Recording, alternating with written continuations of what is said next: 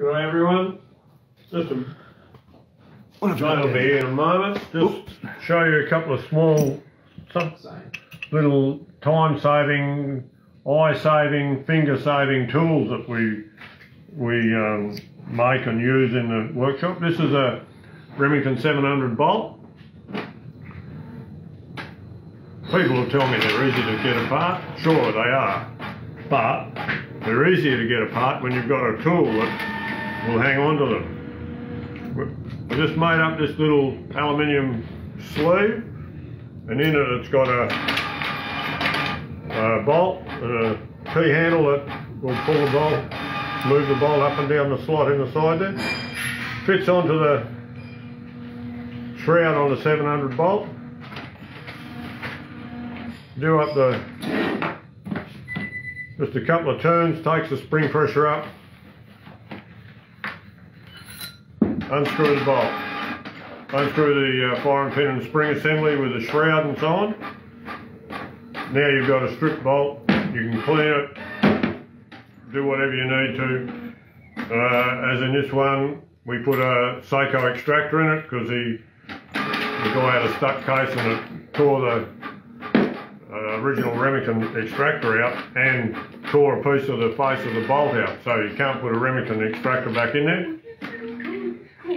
So we just You. mill and drill and fit a, a Sako extractor kit. They work beautifully in there. But now you've got your um, firing pin and spring assembly out. How are you going to get it apart? Well, there's another little piece here. The same thing, we use threads a lot to do a lot of work for us at different times. This, this tube has got the Remington thread in that end, just a half UNC thread in this end, a little wind up handle, crank handle, takes the pressure up,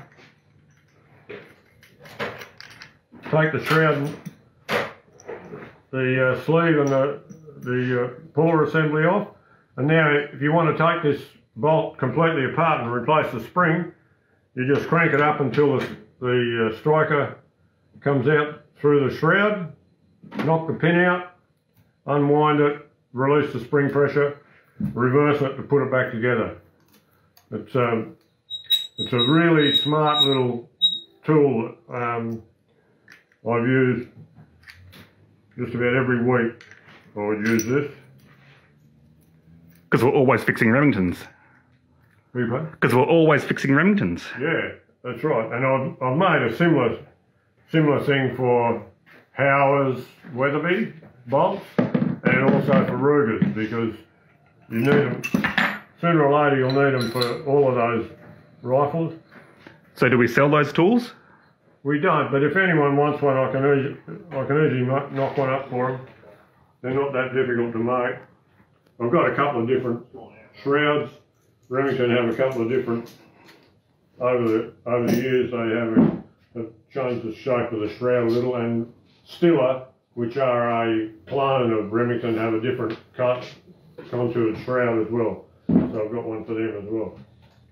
It just makes it so much easier to, um, to do it uh, rather than trying to put hold this in a vise, pull it, undo the, unwind the bolt out of it. Um, there's always chances of something slipping, and then you uh, hunt for an hour or so to find the part that you just lost, uh, which is uh, a real pain in the neck, absolute pain in the neck. But here, a couple of So life saving, time saving tools. on a Saturday morning, once I had a client who had a Ruger M77 22 that they brought in that was misfiring. And you know the shape of the M77 22s, the striker assembly is not that far different from the striker assembly on that Ruger. It's got a claw thing on the back. Anyway, I wanted to take it apart to um, to see if the if there was any shit in the bolt that was Yeah. stopping the bolt from dropping forth. And so, you know, the Rugers, you pull the striker and turn them. Yeah. Well, I did that, and it dropped back on the next round and bit me on the skin between my finger and my thumb. and I couldn't get it out. I couldn't pull it out, and I couldn't. I didn't have the strength. It was at a weird angle. I couldn't get it in a vice to pull it out to do it up. I walked around with this thing on my hand for about 15 minutes because the only other person that was here was Nick, and she couldn't help me. And um, yeah, I walked around for about 15 minutes with this thing attached to my hand. Right. Before I can- And so it's it is really important to use the right tooling Yeah, for the right job. that's right. Oh, Um, Otherwise, you end up in all sorts of predicaments. Uh, But you used to be able to just pull a Remington bolt shroud apart with a five cent coin. Once upon a time. same as the Omar. Yeah, very similar to IMAC, yeah. But they're not like that anymore. Not like that anymore, no. Yeah. But, um, Now, Jason Spencer's granddad has a Bren gun, apparently, and he wants to know what the process of rendering it would be. allegedly. Allegedly. Uh, So if someone has a Category D firearm, um, I'm not 100% sure at the moment in WA because it's a lot, rather ambiguous compared to other states on whether there is an amnesty going on uh, still. Because Karl O'Callaghan made it quite, i- in him trying to big note himself, made it a little bit wishy-washy about whether the after the last amnesty was on, whether the amnesty would continue. Now that's probably a question for police licensing whether there's still an amnesty on, but we have rendered firearms for uh, individuals Category as Ds. category Ds, as well as for the museum. So if you go to the museum, there's actually a few category Ds, MG08s, and that sort of stuff on display there that we actually rendered for them. And so now the so we can do the work. The question is, is is it legal to bring it into us? Not really, because it's not a licensed firearm. Um, you would need to get a temporary permit from police licensing. That would be my recommendation. Yeah. Would be get a temporary permit, so you can get it to us, and then we'll be able to, and, and we'll be able to render it in a way that sort of respects the the the the, look and the shape. the look and the shape and yeah the the integrity of the Yeah. firearm as Yeah. much as possible. So Yeah, when we rented the MG08 and a couple of Vickers and an Owen gun and a couple other pieces for the museum, um, I've been to the museum and seen one of our uh, renders there, the one of the MG08s, and um, if you know what you're looking for, you know it's not a complete firearm, but otherwise it it looks like a complete firearm to a novice. It certainly would. and it is a shame, and there's a lot of people that are going to be saying, "Oh, don't render it," blah blah blah, because it is a real shame. But at the end of the day, if the police get a hold of it, it's just going to get destroyed, you Yeah. know. So, um, and it's better off getting someone who's experienced like Bill to render these things correctly, so you can keep them, rather than um, perhaps not get them rendered correctly Yeah, and lose some of the, the history and the story yeah, that the firearm holds. So, yeah. because it was a Bren gun, you can bet your ass it's seen, it's been up in the tropics, you know. Yeah, So, and it'll be a bit rusty.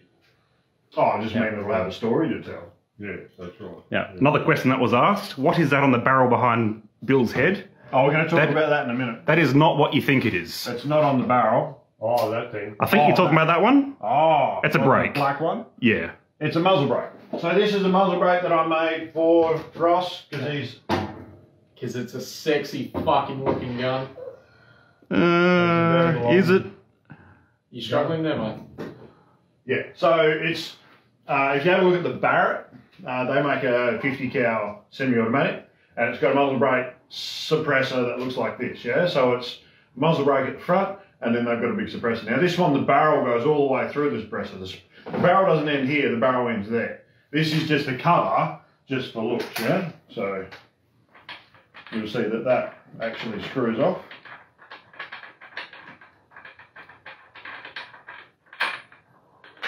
And just that part is the muzzle brake itself. Was that the one you're asking about, Brett?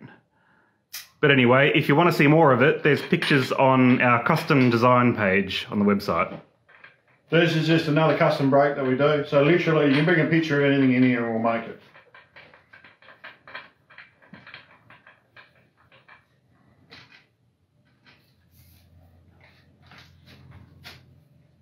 There is absolutely zero recoil in this rifle. for those that will be asking.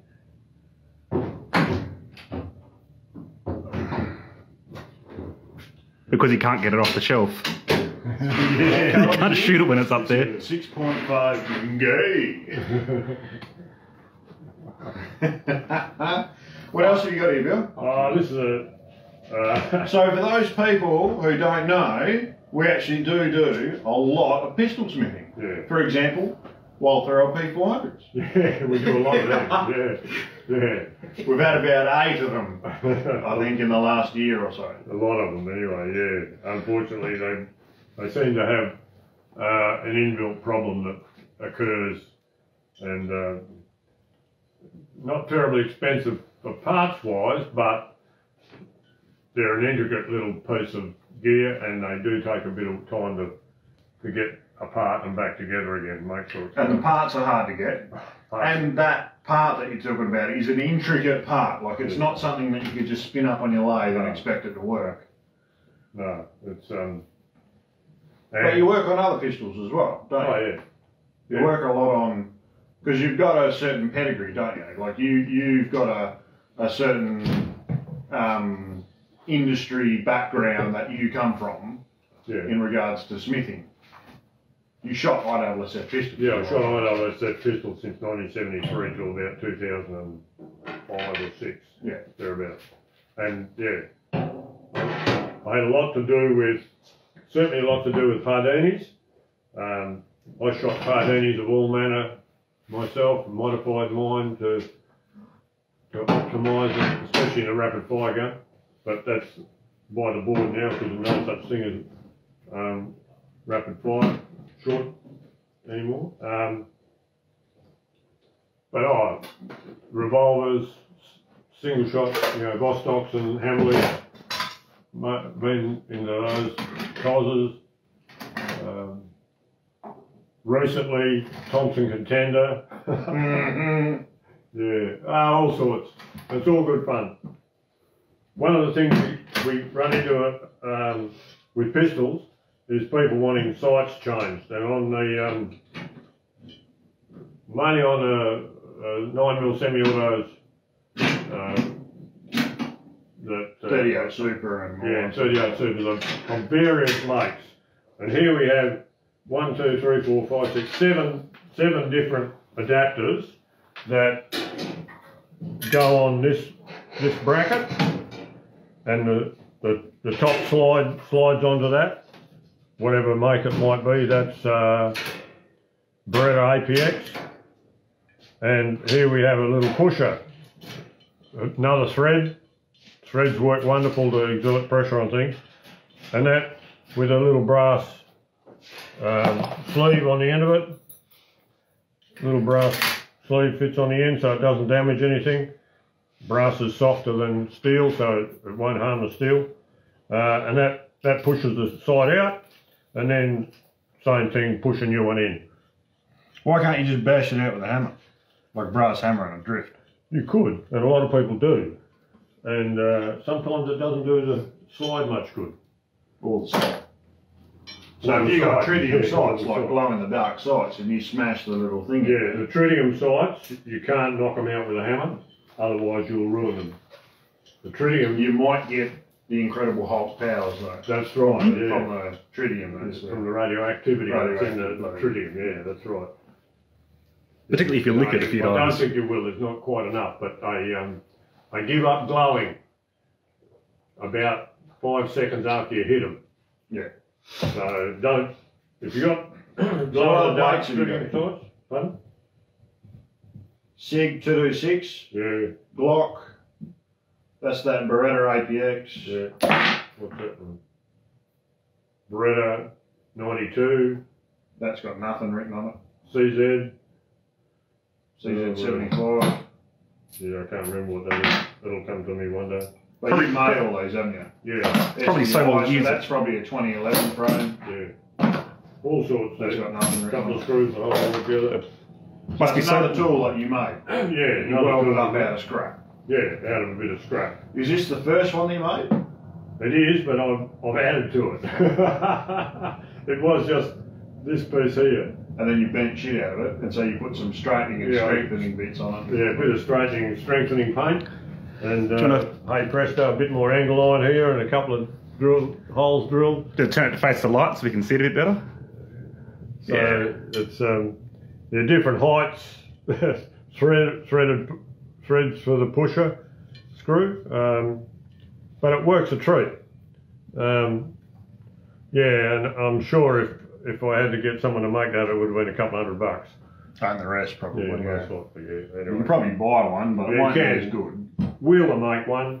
Um, probably fuck up after about two or three well, that, sites.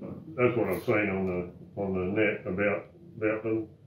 They um, they work well if the site's not very hard to move, Mm. and some of these sites I don't know how on earth the manufacturers get them into the dovetail without damaging them. they must have a, like a hydraulic press or something. It's Something. just like a jig, you just drop it in and Yeah. just, whoop, just pushes it in there. yeah, There probably wasn't a dovetail there before they pushed the site. yeah, it wasn't the right size. No, that's it. A machine and a half, mill, mil and a half undersized, Yeah, and and then then just press the side in. Yeah. That's the size it ends up. fucking hard, but but normally get them out. Um, haven't had to use an oxy torch on them yet, but I'm sure we will one day. Yeah. You want to talk about your shotgun? Yeah, this is just a little project I had for the last day or two.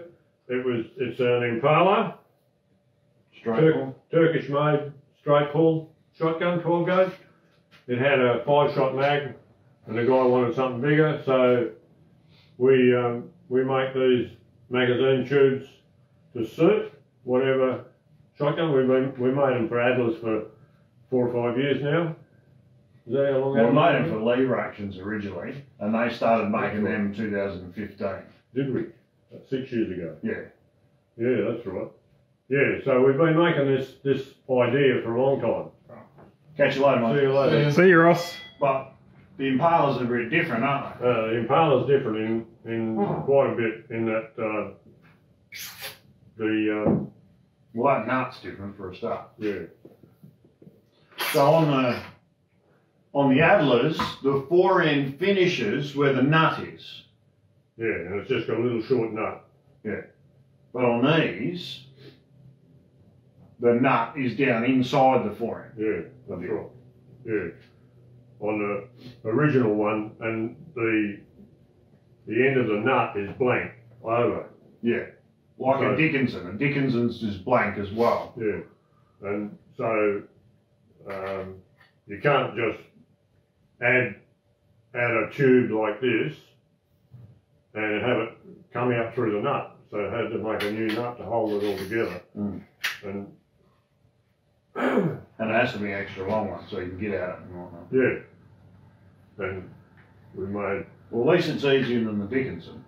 yeah Well, the Dickinson, the magazine doesn't go through the through that. through the lug on the barrel. Lug on the barrel. It's just got a pissy little one, and the cap has a like an eight mil rod that goes through it. Oh You just do up a little eight mil nut to hold the barrel in. oh good. Stayed it. Yeah, they do, but you can't extend the magazines on them without getting rid of that lug on the barrel, Oh, that's right. Yeah. yeah. So which I have done, but it's pain in the ring. So we'll send this off to get um, Cerakoted. Uh, she's now, and was a five shot, now an eight shot. Um, I think the guy will be pretty happy with a bit extra magazine The capacity. magazine, yeah, thread's a little bit tight. It's got a, It'll be tight. Well, once you've got two layers of Cerakote on it, it might get a bit tighter. That's all. yeah. Well, you've got a tap for it though. So. Yeah. Do we make mu- muzzle brakes for a Ruger Precision 22 Win Mag? Make muzzle brakes for anything. Yes. Do you want to talk about a self-timing one or Sure. Well, I mean, is the Ruger Precision already threaded? Ruger Precision rimfire is yeah. Yeah, okay. Well, if it's already threaded, then I can make a self-timing brake and just post it out to them. So they're 325. So this is a self-timing brake, so I'll just do it up. So it just looks like any of our other brakes, but you screw it onto the gun, and then if it doesn't time up, you've got this timing nut, which is on a left-hand thread, so it won't slip. So you just do the timing nut up, and then when you crank the, the muzzle brake up, it sits time, and it won't move. So it'll fit. I just have to make one for half inch 28 or half inch 20 or whatever your thread is, and then I can just send this to you in the mail and you just screw it on and it's done. Yeah? So they're 325. If you want a custom muzzle brake manufactured and you want to bring a gun in for us to do to do one of them, they start from about 395.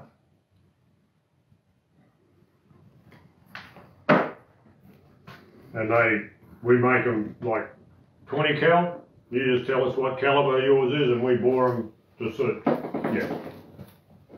Thanks, mate. All good. What's this one? This is a um, Parker Hale Safari Deluxe in 375 run, this one. That's big caliber. Yeah, 375 Rubik, uh, Remington Ultramag. So it's normally got a muzzle brake on that one. Yeah, it has. There's- There's a muzzle brake for it. Yeah. Um, but the guy wants express sights on it. And as things are at the moment, this last couple of, this last year anyway, product's hard to get. We normally could buy a rear and a front sight. Front express, express sight like such. That's a little one that I've got for a real skinny barrel years ago Yeah. and never ended up using it. So we, we managed to get a, a rear sight for it, which I fitted already to the, Yeah, you'll have to change the contour. Yeah, the contour. I've got got the threads in the right place and the right depth and everything.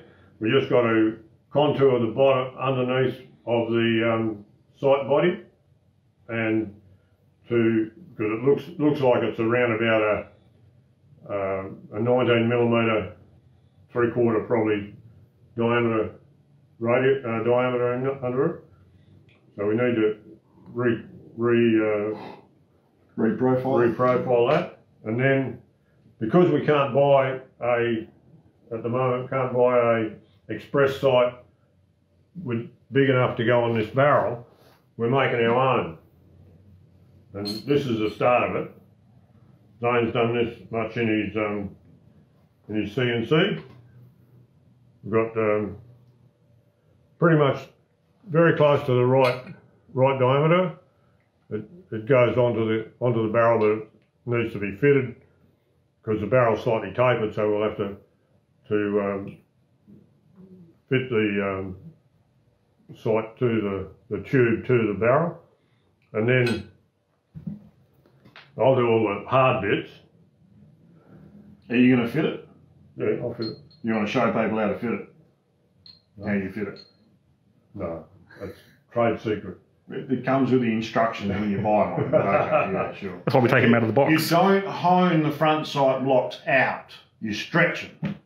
Yeah, we know.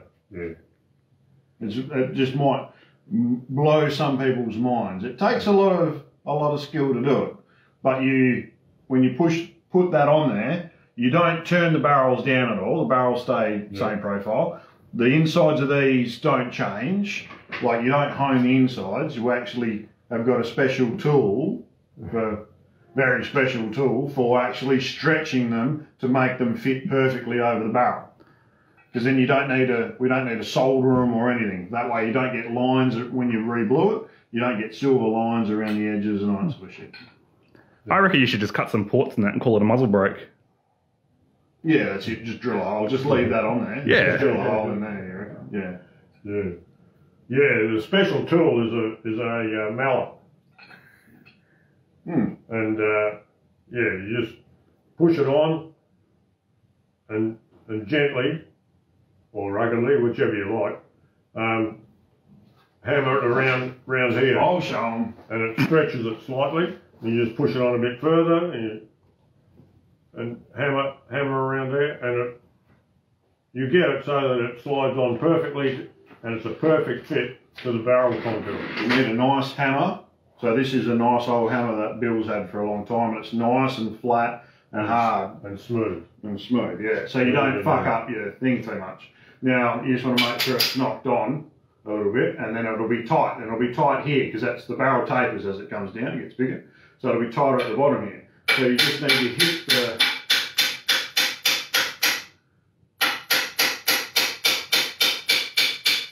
All the way around like that. Now you'll do that several times to, and by doing that, you're actually hitting and squashing out the steel and making it stretch slightly. And by doing that, then you'll be able to knock that on a bit further. And then you do it again and you keep going until it's all the way on. And it's a perfect fit. All you're left with is some marks just around the edge here. Because I'm using a nice smooth hammer, they're not too bad. And then you'll just all those marks off. And then you're left with a nice, beautiful, nicely finished um, site. Now, obviously, this one we haven't relieved this away yet, so we've got to relieve that away, and we've got to taper in the, the top of the, the rail, so it looks like that. And then we've got to dovetail it for whatever front sight that we put on there. Um, we've got to work out what height we need. Um, and then there's a plunger that holds the front side in, and a plunger that holds the hood on, and a screw that holds this in place. So there's a lot of work left to do. Um, but that's the general gist of it. So it's it takes a lot of patience because if you hit it wrong, you know, if you just if you were to hit it slightly incorrectly just on this edge here, you could mark it permanently and take you a long while to get it out, you know, and you don't want to do that. You want to hit it, take your time and just hit it around the edge um, and then knock it on. So you just you're better off just leaving it to build. just get build it. You just leave it to me. I'll do all the all the hard work. But um, now what else have we got to talk about? What are you going to talk about? Um, so we've spoken about all that. Now, last week I spoke about about um, collets, and so you would have seen that my collet block that I use for my barrel vise is this one here. So this is an ER50 collet block that I made um, to suit those size collets. So they're the big collets. They go up to 34 mil. The next size down is my ER40 collet. This is my ER40 collet block. That goes up to 26 millimeters and then ER32. So they're my common ones because these two in particular, my CNC uses them. But what I, the problem, couple of problems that I had was getting in really nice and in a very narrow sort of area um, that these are, are too big for. Um, and also work holding, holding little tiny things to work on them and that sort of stuff. And so I went, I skipped ER25, which is the next size down, and I went to the ER16s. So these are the little ER16 collets. Um, they do up to 9 mil, I believe. Um, and then I got some even smaller ones, some ER11s. So this is a little ER11 collet block. So he's just a little collet block for holding 0.5 up to 1 millimeter things. But what it is, the beauty about what I can do with this is I can put a screw in there and hold the screw body, you know, back to front and actually will hold a piece of material and actually thread it and make little screws. So if we need to make a replacement screw, if you've got a specific screw on an old shotgun or something like that, um, that's a one-off, you know, it's not something you can buy on the shelf and it's certainly not something you could buy with a screw slotted head or anything like that, then we can make this sort of stuff. So that's specifically what I got these for. These are for, for tool holding, but I use them for work holding because I, I really like collet tooling. Um, so that's what's I'm been excited about this week. Had all that shit rock up. Um, so a question. So you guys, um, we get a lot of questions about barrels and about fluting, about what the benefits of fluting are. Do, does it reduce the weight? Well, yeah, it does reduce the weight, but does it reduce it? Does it increase surface area? So does it help cooling? Uh, how much weight does it take out? What I wanted to ask you guys is that if we've got a barrel like Trent's, like the one on the bottom, the flutes are typically uh, quarter wide, about 6 mil to 6.3 millimetre wide flutes, and they're usually about 500 mil long. And now his barrel's got seven flutes on it. Like wood have, would Yeah, wood, yeah. Yeah. But typically, most barrels have six flutes on them. So I want people to have a crack at how much six flutes, 500 mil long, reduces the weight of a barrel. Anyone gets it, Anyone gets it, they win this loophole carbon fibre knife. It's not carbon fibre. It's carbon fibre. Look Oh. at the oh. handle on. Oh, the handle maybe. yeah, hand, yeah. No, the knife, yeah, the handle's mm-hmm. carbon fibre. So it's how much? The has blade's not carbon. How much has that reduced the weight of that knife? Well, the, the weight that it reduces the barrel is more than what this knife ma- weighs. Is that right? But yeah, so the, the amount it reduces it is that much. So it's a piece of 35 mil bar, 44 mil long. So that's the, the volume of the steel. Yeah. So, Oh, so people have a crack at how much it reduces the weight. Now, what is the benefit? So for a long time, a lot of people have said that milling the the flutes in the barrel increases the surface area, and it does. Mm-hmm. I did some maths before, and on a standard sort of barrel similar to that, the surface area is increased by about 23% over if you didn't have a flute.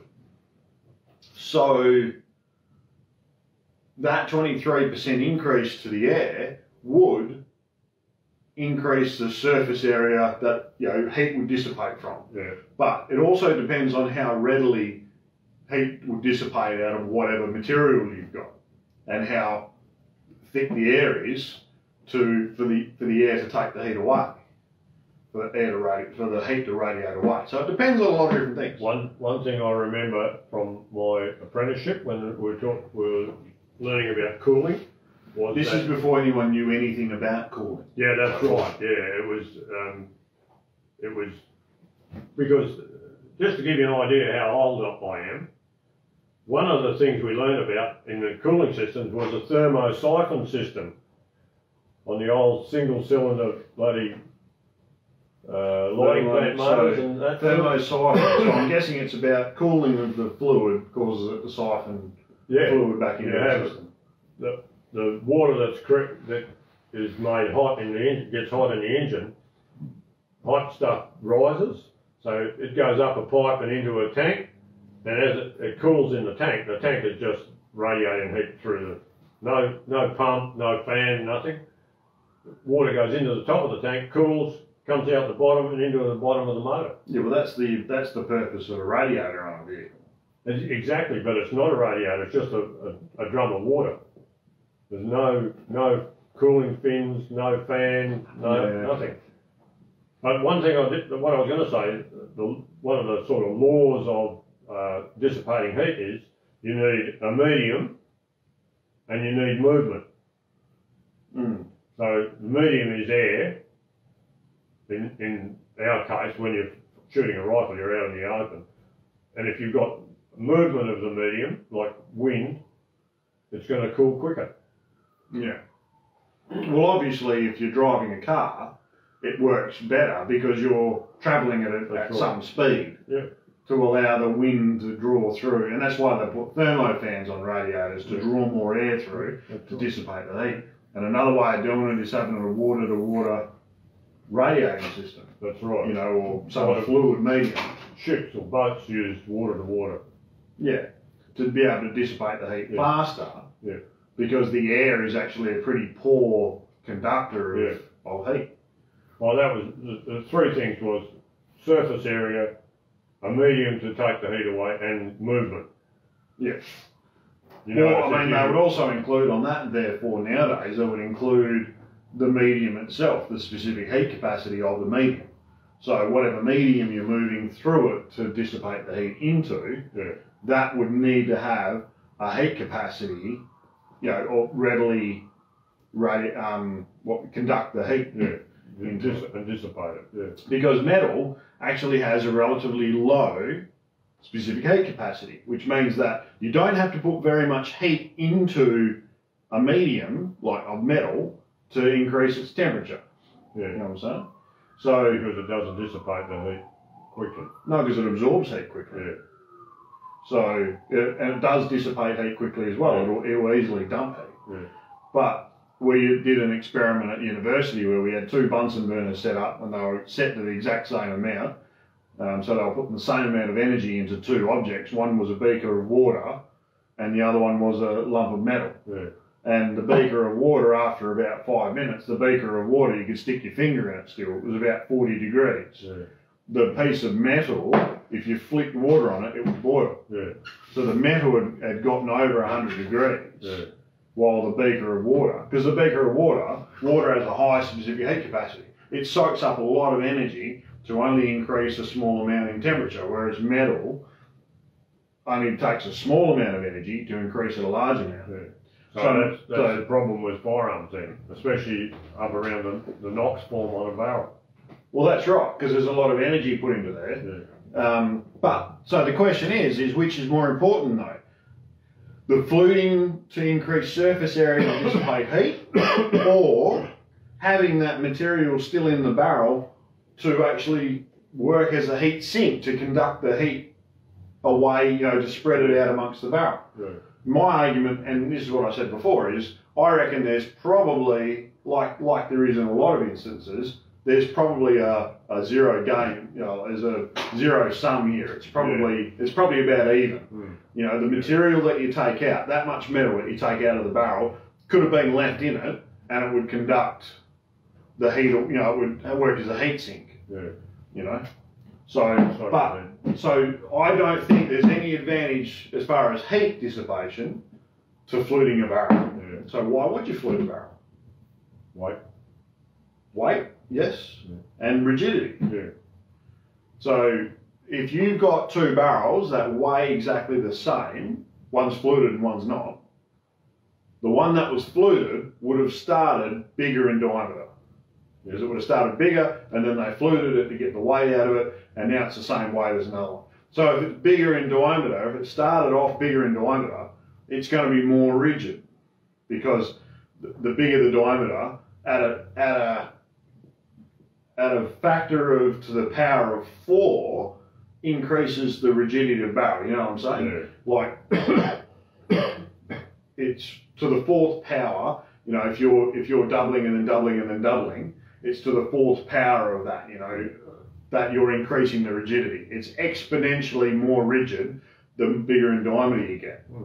And so increasing the diameter of the barrel, even if you're wasting sections of the barrel with the fluting, increasing the diameter increases the rigidity, Yeah. which means that the more rigid the barrel is, the finer the the, var- the variations in the frequency of the of the vibrations in the barrel, which means you're going to have much more consistent shots. Yeah.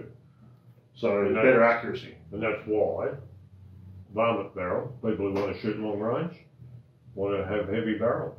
But it's only a necessary if you come under a weight restriction or if you want to try and minimise the weight of the firearm. Like if there's no weight restriction, then you just build the biggest, Yeah, heaviest right. fucking thing you can find. Yeah. Because then that's going to be more stable on the bags. It's going to let you shoot it easier as well, depending on where the weight is. Mm. Obviously, if all the weight's out the front, makes it very hard to point the gun. You know, it's very hard Yeah. to. It feels unwieldy. Same as if the butt's too heavy. It's too hard to point the front of the gun. It needs to be nice, even weight throughout the gun. Um, but yeah, so if anyone, have we got any guesses so far at how much weight's taken out of a barrel? We've had a couple. So, see if I can scroll around on this. It's a little bit buggered. We had. Oh, what is going on with this thing? We've got 73 grams. I think it's a bit more than 73. 73? No, it's a bit more than 73, yeah. We've got 300. It's a little bit more than 300. So 250 and 200 are out then, Yep, and 180 as well. yep. How So about 350?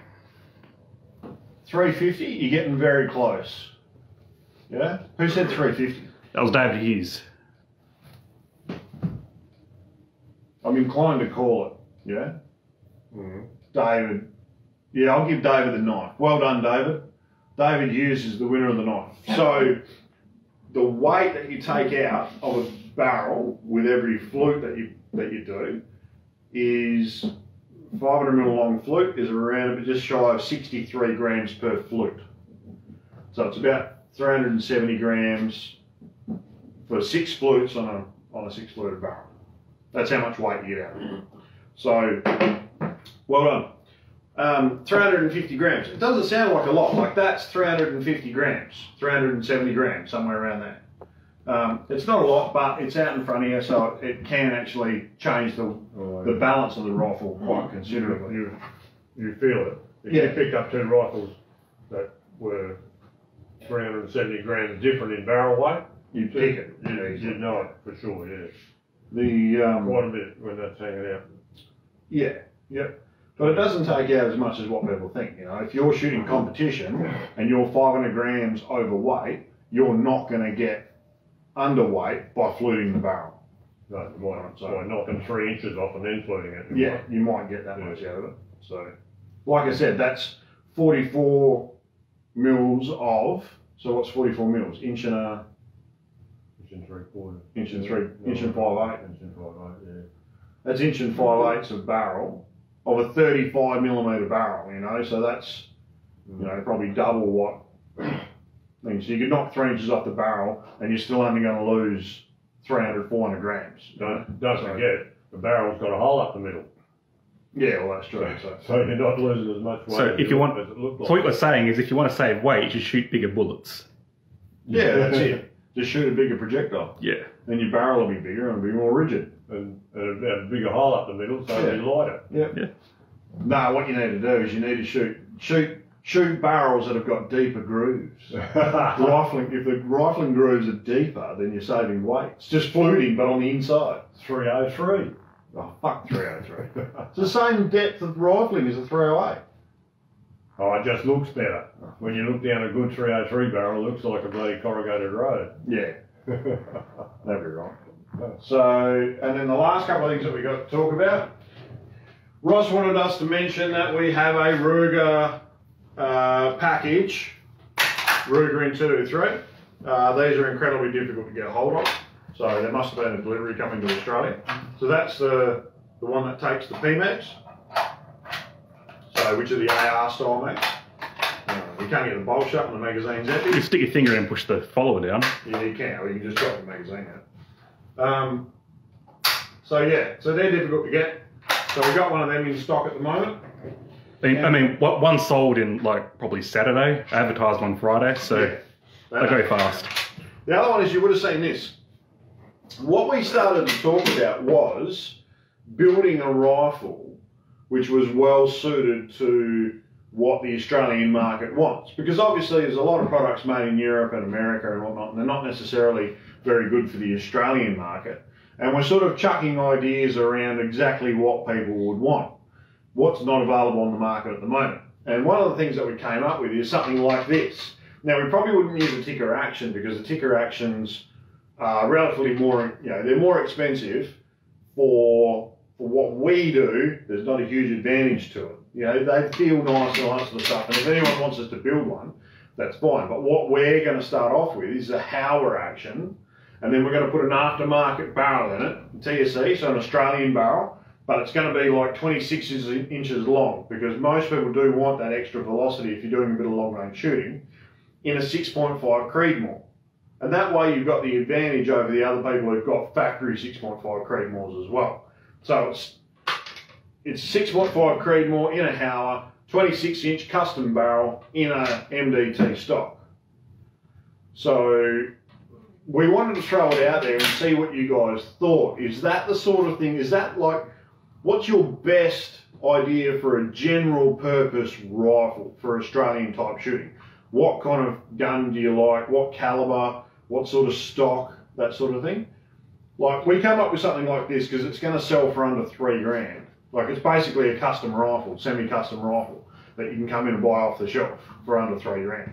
And the other thing that we kept in mind when we were designing this was the um, the guys that shoot uh, the semi PRS style shooting because it really suits the rules of PRS style shooting because you know they're longer than 26 inch barrel. Uh, and it has come under a certain weight restriction, which this should just come under that weight restriction.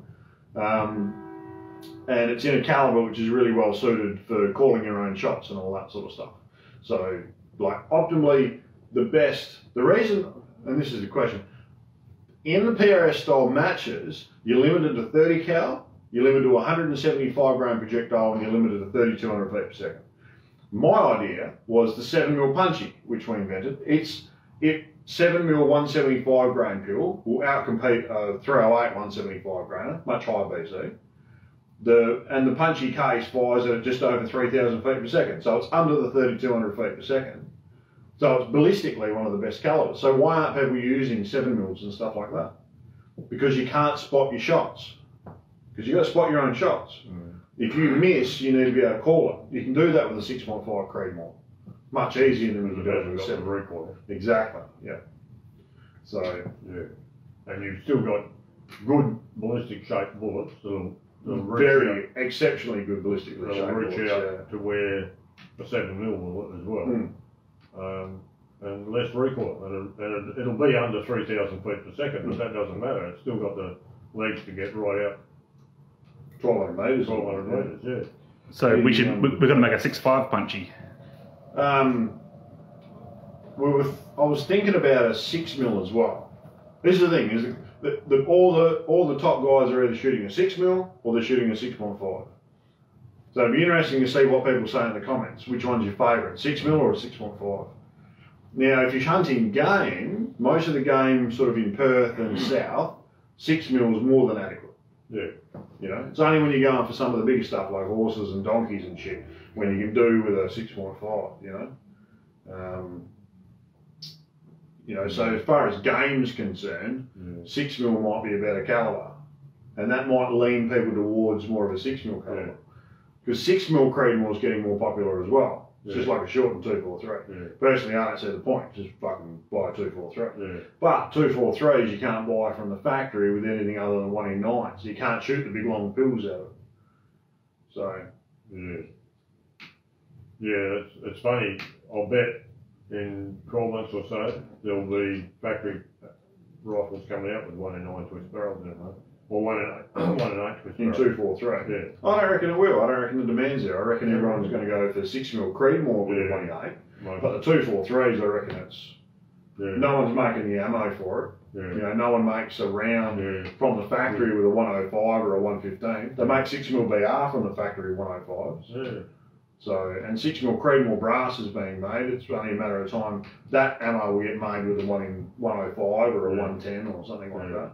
But I think 243 is just why it's it's been around since what the 1950s. Yeah. It survived so so long, you know. So One in 58. Mm. Yeah. so so yeah, be interested to find out what what's more popular, six mil or six point five. What do people want? Yeah. What do people want in like an off the shelf gun? Like what features do you want on it?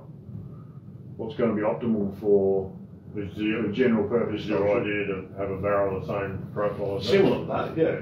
Yep. That's the Tikka varmint Yeah. profile. Only 22 inch, uh, that barrel. 24. Ah, 24. Ours will be 26. Yeah. Yeah, so the Weatherby's varmints are 20, Yeah. Howas 24, Tikka is 24. Um, some of the Howas you can get in 26, but I'm not sure exactly which ones. Um, but regardless, we want to put an aftermarket barrel in it. We want to put a, a Australian-made match barrel in it because that's the sort of thing that people want. You know, people want a really top quality barrel for long range shooting. You know, consistency and that sort of stuff. Internal finish is very important for that. So we want to ditch the factory barrel, put an aftermarket barrel The, um, oh, what was I going to say? Oh, one of the things, uh, about product availability is getting stuff from the US is like getting your grandmother involved. You know? Yeah, that's it. So it's really hard. Even though you might have to wait three months for a TSE barrel, at least you'll get it. That's absolutely right. You will get it when he says it, it'll be available. Yeah. Whereas with stuff from America now, I find it it's hard to get. They've run out of stock in the US. There's been so much buying going on over there, and uh, we're on the end of the line. Yeah. And it's good to be promoting a good top, you know, top notch Australian made product as well. So there's been a lot of that. Land Forces was on this week. The what? Over in Queensland, the Land oh yeah, thing. yeah, So where they're all showcasing everything's about, you know, um, indigenous product. It's about sovereign capabilities and that sort of stuff. Everyone manufacturing all their products in Australia for the Defence Force and that sort. stuff. So it's, and it's good to see that the Australian government's getting behind Australian companies. Yeah. And if the Australian government can do something right for a change, maybe. then you'd hope everyone else could. Yeah. The, um, normally the Australian government goes for either the dearest or the cheapest, nothing in between. Mm. When they're buying defence equipment. They're coming up. They've got they're redoing tanks. Where do we fight with fucking tanks anymore? How much is one tank going to cost? A lot. You could probably buy 20 drones for the cost of a tank. Well, easily. You could buy Big- 20 fucking drones. Big- How many blokes could you clean up with a fucking. You don't need to hold the big presence Like the Americans have got that. You know, you never compete with that. Yeah.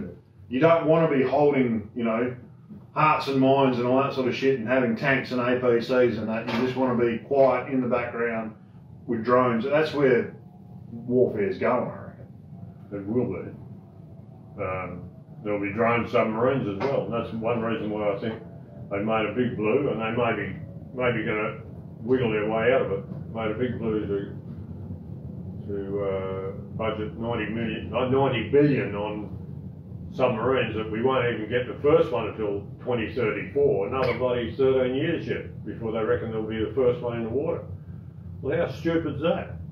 We could buy off the shelf stuff somewhere. Yeah, but if global warming happens and the and the sea ice rocks drop in and all the levels rise, we've got a lot more water to run around in our submarines. Oh, okay, yeah. So Great idea. covering a bigger area. Yeah, great idea. They're thinking ahead, you know. Bulldoze they are. I don't No. think they would be. No. There's um but yeah, coming back to what we were actually What talking were we about, talking about? which is Yeah, Australian. Australian. Australian product, you know. And yes, down the track we'll get to we'll even make our own action and that'll be it'll be all Australian, you know. We Get our own chassis, our own actions, Like Lithgow. but we've got to start from somewhere. Lithgow. What that chassis do? No, Lithgow's used KRG fucking chassis. Yeah. It's an American chassis. Is it American, is it? Yeah. I thought it was Australian. No, Ah. KRG. KRG is American. God. No, there's the company that does make chassis in Australia. That's Yeah. Southern Cross. Yeah, Southern Cross and um, are APC made in Australia? No, not sure. Couldn't tell you. Yeah. You could have some specialty gear for it. I don't think I could do it on my gear. But you never know. We made it once before, we made some. We'd have to come up with a good modular design. Yeah, I know. Would be, would be the best. But making them at the right price as well. That's the hard part. We don't have production capacity. Yeah, ha- hand making a chassis is going to be a little bit No. pricier than your XRS chassis. And if you want handmade, if you want sights fitted, you know, like five and a half thousand dollar rifle by the time you finished with it. yeah. So yeah, there hasn't been a lot going on this week. I was crook one of the days, so I, I wasn't here. But um, so I'm still further behind than python's ass, but I am getting on top of most of my. I've got about three or four jobs here on the go that I'm getting on top of, as well as doing all your crap. Oh, bullseye. I'm, I've got about three or four jobs on the go as well. Well, that's good. Yeah. We'll get the whip on you. oh, yeah. All right, we're going to pack up and go home. Hope you guys have an extra good long weekend. Yes, Don't forget that Monday is a public holiday. We will not be here, but we will be here from tomorrow between nine and four. So we'll see you then. And just remember, double demerits.